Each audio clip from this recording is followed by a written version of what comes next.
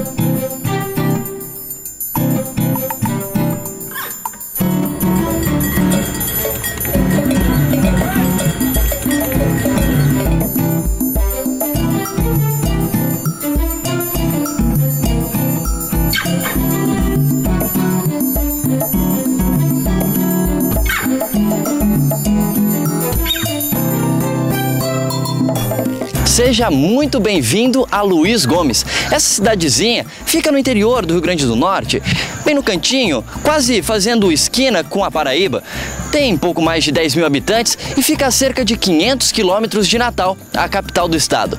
Agora você pode estar se perguntando, o que é que a Novo Tempo está fazendo aqui? O que é que tem em Luiz Gomes? Luiz Gomes tem um pessoal humilde, uma família de gente boa, uma nação Luiz Gomes de primeira linha. Luiz Gomes é uma cidade muito boa, tem um clima gostoso. Cachoeira lá, Rio Rela. Tem festa. Em Luiz Gomes tem esperança.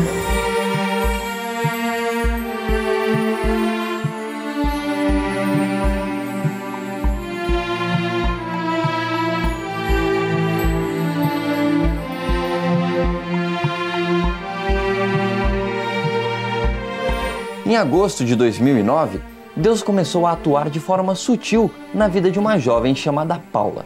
No interior do Rio Grande do Norte, ela entrou em contato com um rapaz que estava no interior de Minas Gerais, a mais de 1.500 quilômetros de distância da pequena cidade de Luiz Gomes. O nome dele?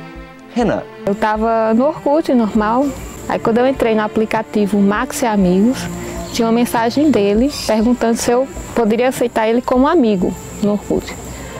O encontro acidental, que muitos chamariam de coincidência, era na verdade providência divina. Tudo bem que eu não acreditava em, milagres, vamos dizer assim, mas não, é, não foi um milagre, foi uma providência mesmo.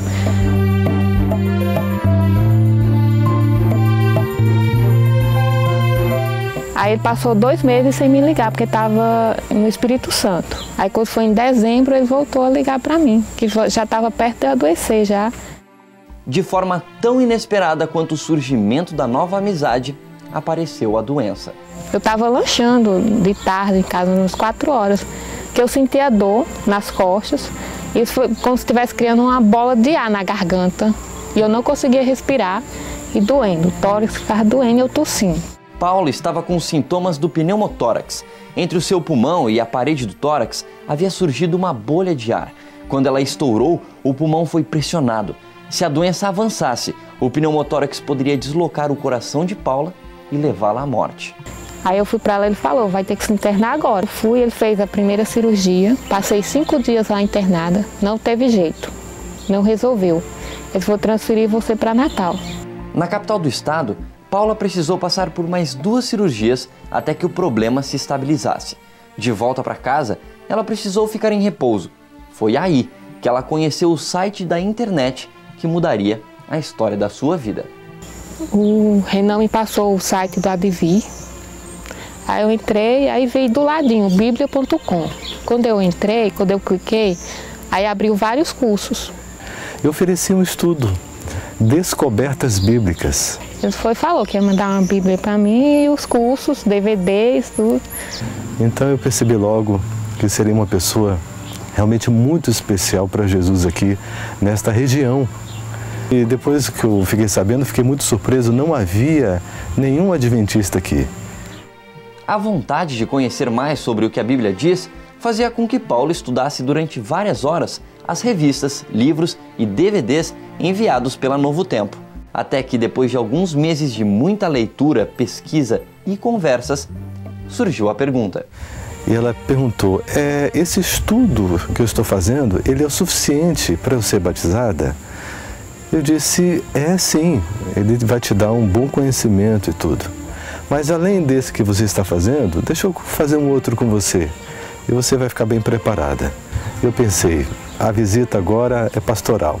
E aí comecei a conversar com o Manassés e nós imediatamente é, ligamos para Paula e então marcamos a visita. Começou a conversar naturalmente, ele foi me perguntando, e eu fui contando. Nessa conversa, o pastor divino pôde perceber o quanto Paula tinha estudado a Bíblia.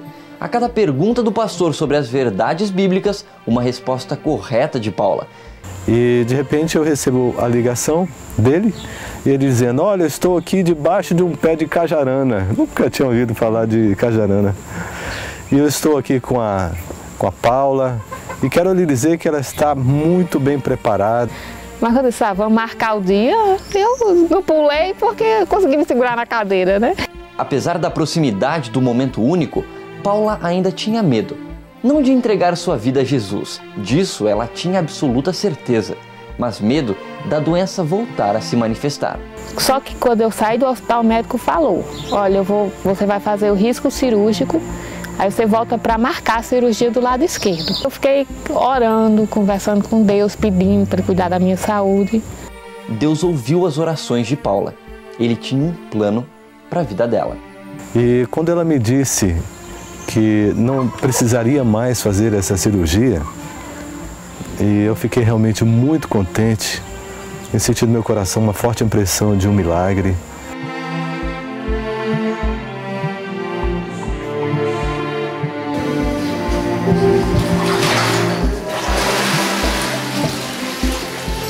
No começo eu chamei de acaso, depois eu disse, ah, foi Deus que botou ele no meu caminho.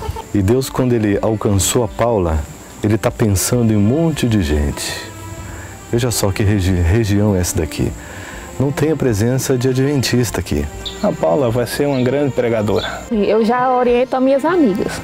Assim, eu já converso muito com elas. Olha, se vocês quiserem, tá aqui o material, eu empresto, eu dou se for preciso, para vocês estudarem, também passar a conhecer. O sonho de Deus forte para essa região é de usar a Paula de uma forma natural, espontânea, para ser uma missionária